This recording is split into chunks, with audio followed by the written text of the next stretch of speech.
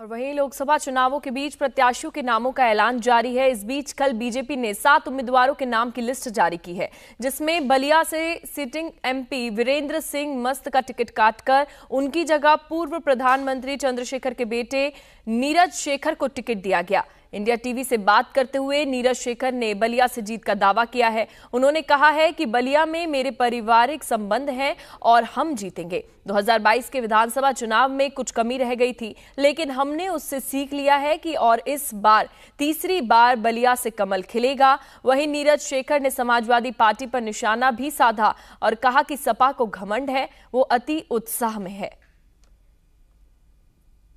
बलिया से आप पहले भी सांसद रहे हैं। पहले और इस बार में क्या चुनौती रहेगी? क्योंकि आप 2009 में सपा से लड़े थे इस बार बीजेपी से लड़ने जा रहे हैं तो क्या चुनौती रहेगी? सपा भी इस बार कांग्रेस के साथ गठबंधन में है।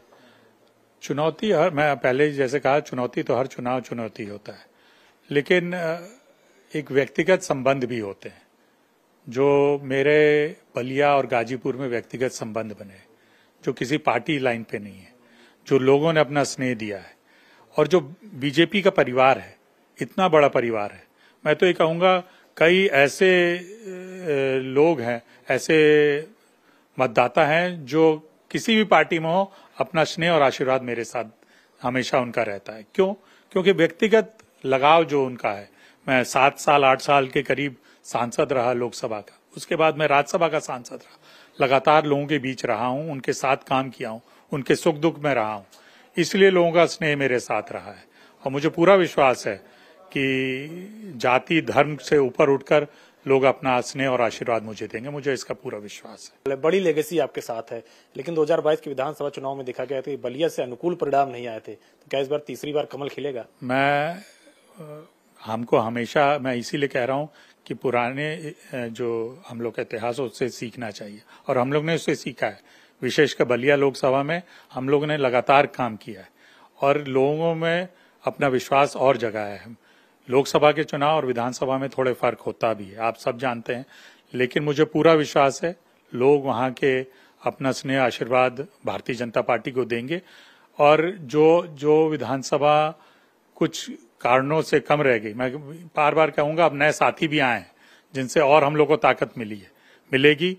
और मुझे पूरा विश्वास है कि भारी मतों से बलिया का लोकसभा हम लोग जीतेंगे।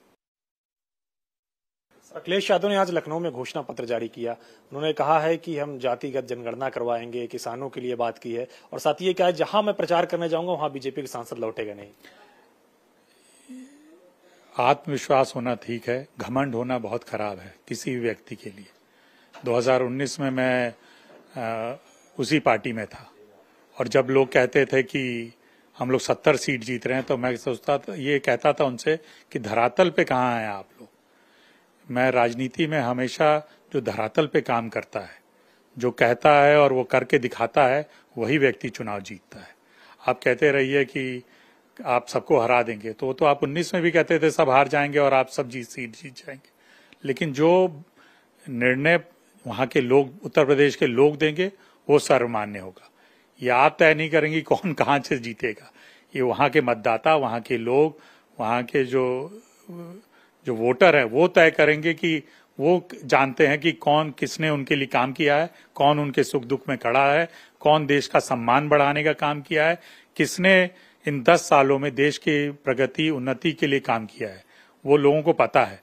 इस देश का वोटर को आप ये समझे कि कि भावुकता में बह जाएगा, वो अब नहीं है।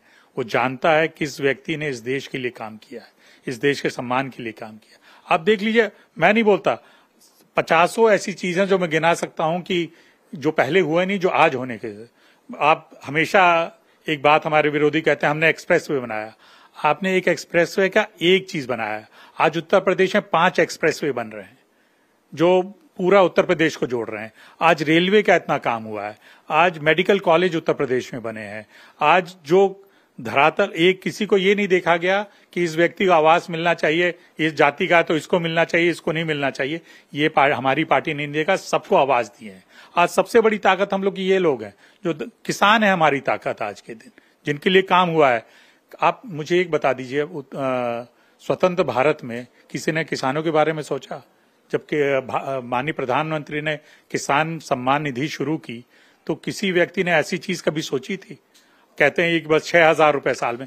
ये बहुत बड़ी चीज़ है एक किसान के लिए जिसके बारे में किसी ने कुछ नहीं सोचा उनको नहीं दिया। आज माननीय प्रधानमंत्री ने किया है इसलिए किसान इस देश का माननीय प्रधानमंत्री के साथ खड़ा हुआ है। और ये सब चीज़ें हमको जीत दिलाने के लिए बहुत हैं।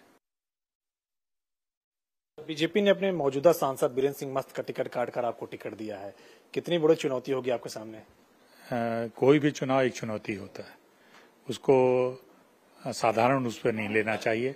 और आदरणीय मस्त जी, हम लोग के बड़े भाई हैं और उनका आशीर्वाद मेरे साथ हमेशा रहा है पिताजी के बाद। मुझे पूरा विश्वास है, जो काम आदरणीय मस्त जी ने शुरू किया था, उनको भी मैं पूरा करना चाहूँगा। और जो विश्वास नेतृत्व ने दिखाया है, मैं मैं उनको मैं, मेरा तो यही संकल्प रहेगा कि विश्वास विश्वास को मैं कम ना होने दूँ। मुझे पूरा विश्वास है बलिया के लोगों का जो स्नेह और आशीर्वाद के साथ हम लोग बलिया के विकास के लिए काम करेंगे। सर, आपके पिता को युवा तुर्क कहा जाता था। लंबे समय तक उन्होंने बलिया में सांसदी जीती। इस बार क्या सपना है उनका कि जो अधूरा रहेगा आप पूरा करेंगे? पिताजी के बहुत सारे सपने थे बलिया को लेकर।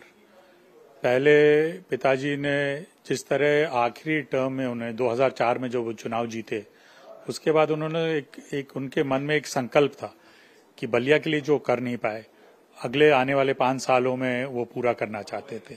चाहे वहाँ पे यूनिवर्सिटी हो स्पोर्ट्स कॉलेज हो, बलिया को पूरे देश से जोड़ा जाए। और उस उस काम में वो काम करने वाले थे, तब तक उनका देहांत हो गया। उसके बाद में चुनाव में लड़ा और मैं जीता। हम लोग ने प्रयास किया लगातार उन सपनों को पूरा करने का। उसमें कुछ काम हुए हैं, लेकिन अभी भी कई काम हैं जो रह गए हैं। जिनको पूरा भी करना है और नए काम, जो आज आकांक्षा है नौजवान साथियों की, जो किसान की आकांक्षा है, जो अब उनकी ज़्यादा आकांक्षा बढ़ गई है क्योंकि वो प्रधानमंत्री को देखते हैं, जिन्होंने उनकी जो विश्वास था उसको और बढ़ा दिया है कि प्रधानमंत्री हैं तो ये काम ज़रूर होगा।